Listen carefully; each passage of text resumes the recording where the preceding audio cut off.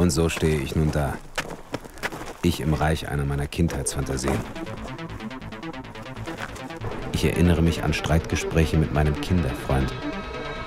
Wir stritten. Sein Idol oder meines besser war. Berühmter, mächtiger. Den besten haben.